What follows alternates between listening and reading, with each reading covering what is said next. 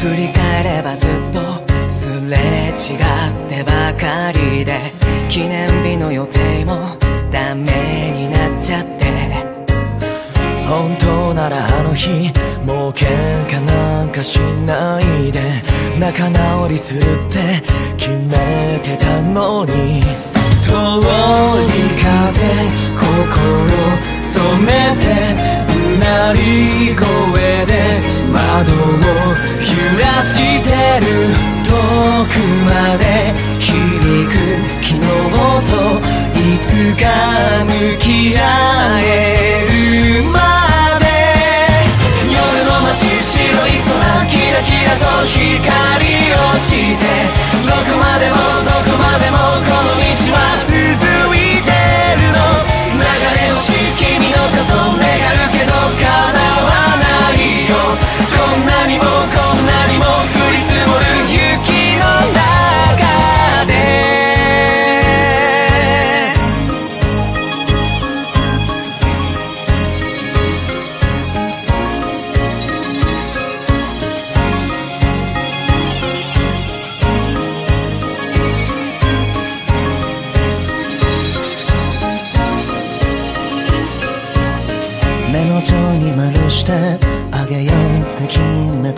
花は買いそびれたまんま熱も冷めてった。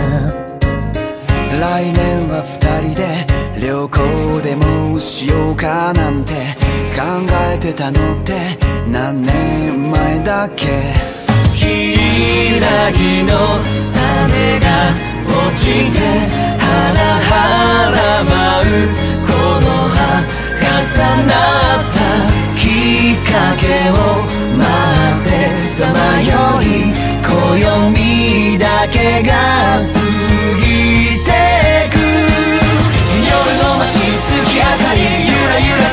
光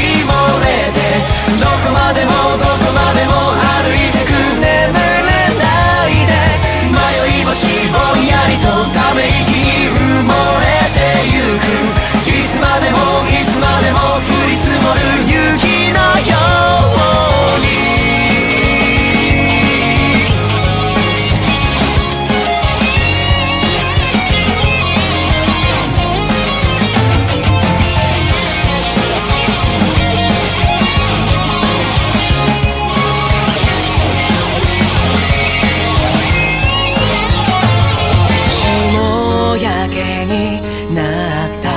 指で溜め込んだ写真めくる泣きながら今度こそ春が来ればこのトンネルは